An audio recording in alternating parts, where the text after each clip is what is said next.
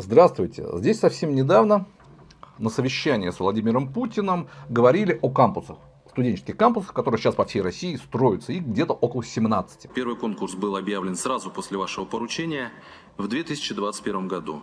Мы получили тогда 27 заявок и отобрали из них 8 лучших. Это кампусы в Нижнем Новгороде, Уфе, Екатеринбурге, Калининграде, Челябинске, Москве, Новосибирске и Томске. И все они на стадии реализации. И как мы уже говорили, в Томске тоже должен быть кампус такой построен. Но там строительство даже не начиналось. И Путину доложили, что этот проект с федеральными деньгами, а там несколько миллиардов выделено на все, сейчас уже в процессе реализации. Действительно, в Екатеринбурге уже практически построили. Там что-то делают. В Томске не то что, там еще стадия стадии реализации.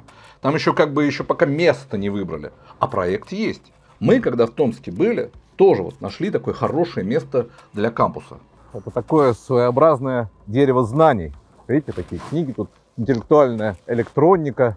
Рядом, если мы посмотрим налево, да и направо, тут расположены студенческие корпуса. А вот если мы посмотрим прямо, там находится ИК-4. Студенты вообще сказали просто спасибо руководству Томской области за то, чтобы студенческий кампус был бы на месте ИК-4. Представляете, как было бы замечательно. Студенческий корпус. Студенческий корпус. Там дальше тоже студенческие корпуса. Здесь Просто такой студенческий район, древо знаний. И вот там был бы кампус. Но мне кажется, все бы студенты сказали спасибо.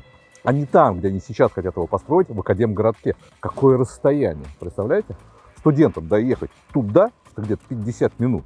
Вот просто дорогу перейти, и был бы здесь замечательный, чудный кампус. Но тут у нас ИК-4.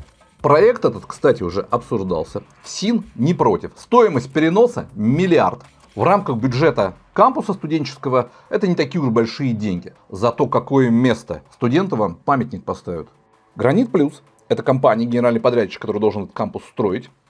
Там на сайте у них до сих пор старое место. Может, они вообще надежду потеряли что-либо построить в Томской области. А как говорят наши источники, на этот проект с федеральными деньгами положил свой глаз Алексей Вавилов и Ренат Аминов. А Алексей Вавилов, он хороший друг детства даже Голожинского. Это ректор ТГУ, Томского государственного университета. Человек не последний. И вообще важную роль играет вообще в томской политике и в распределении томских бюджетов. Уж если Алексей Вавилов возьмется за этот проект, уголовных дел не избежать. Правда, посадят ни Алексея Вавилова, ни Рената Аминова, других посадят.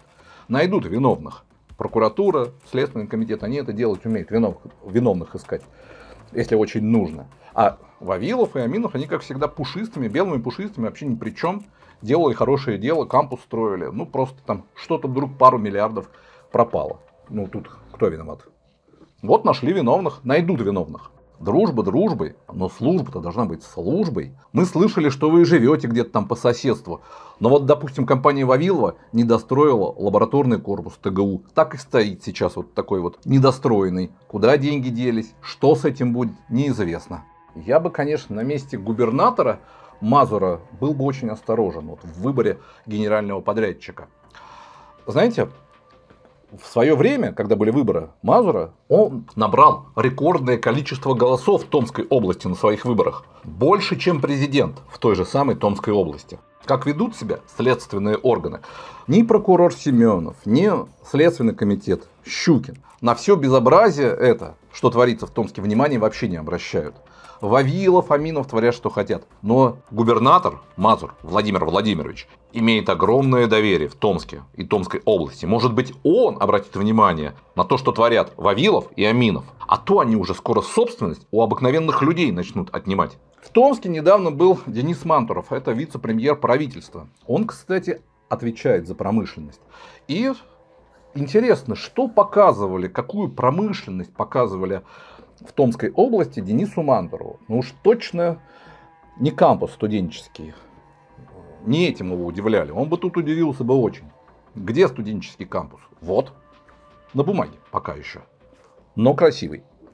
Уж точно не Томский подшипник. Уж точно не левобережную дорогу, где зарыли 2 миллиарда. И теперь вот такой холмик. Никто его не трогает. Дел уголовных нету. А лица-то все те же. Алексей Вавилов и Ренат Аминов, которые все это замечательно осваивали. Вот каких вот эффективных менеджеров нужно было показать Денису Мантурову. Вот, помните, знаете, слышали что-нибудь о великой томской промышленности? Вот, была когда-то, сейчас нету. Зато жилищные комплексы, торговые центры. Этого достаточно. А с промышленностью как-нибудь потом. Вот совсем недавно на совещании с ФСБ Владимир Путин сказал такую фразу, его там все СМИ ее разнесли, что врагов России нужно находить без срока давности и наказывать.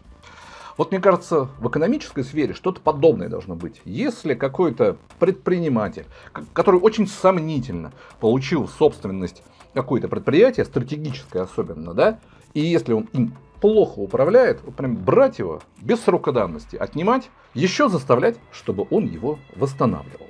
Знаете, а ведь если бы Следственный комитет, прокуратура всем этим занялось, я имею в виду возвратом всего, что вот эти два замечательных менеджера эффективных в какой-то момент поглотили, а там их целый список, там и Томский подшипник, и производственное объединение «Контур», и завод измерительных приборов – там сейчас жилищный комплекс строится, это еще не полный список, там достаточно. Если бы прокуратура всем этим занялась, как они умеют это делать, как это с делом врачей делают, да? Все силы бросить на это. Говорит адвокат врача-онколога клиники Санте Евгении Семеновой. Моя подзащитная вновь сообщила мне о фактически продолжающихся в отношении нее пытках, которые выражаются в многократных бесцельных ее перемещениях из благоустроенной камеры в подвальное неотапливаемое помещение СИЗО-1 города Томска бокс номер 2. Данное помещение площадью около 4 квадратных метров является весьма схожим с карцером СИЗО-1, где заключенные отбывают дисциплинарные взыскания. Само это помещение, бокс номер 2 СИЗО-1 города Томска, предназначено для вывода заключенных на следственные действия по заявкам должностных лиц, проводящих следствие. 29 февраля, 6 и 19 марта 2024 года по заявкам сотрудников Следственного комитета, проводящих предварительное следствие, Семенова Евгения Сергеевна была перемещена в этот фактический карцер, где провела по несколько часов каждый из указанных дней. Однако после подачи заявок сотрудники Следственного комитета в СИЗО-1 за Семеновой не прибыли. По глубокому убеждению моей подзащитной, о чем она мне говорила неоднократно, данные мероприятия следователи Следственного комитета организовывают исключительно для того, чтобы оказать на нее давление в целях принуждения ее к самооговору и оговору других врачей, которые являются фигурантами по уголовному делу. Я прямо уверяю, там, мне кажется, в должности бы Семенова повысили. А может быть, даже и в Москву перевели. Да и для Следственного комитета, и для Щукина там тоже работы, мне кажется, вот прям достаточно. Тогда бы Россия точно бы повысила бы свою обороноспособность. И все люди, которым не все равно, сказали бы вам только спасибо и Следственному комитету, лично Щукину, и прокуратуре лично Семенову Александру Николаевичу. Но пока что об этом мы только можем говорить. Вот Мантуров был, какие он, интересно, выводы сделает после того, как все это увидит. Может быть, что-то натолкнет его на мысли. Может быть, допустим, наша программа натолкнет его на мысли, что, может быть, как бы что-то можно и вернуть, и справедливость так будет восстановлена, как и экономическая мощность Томской области. А пока что до свидания.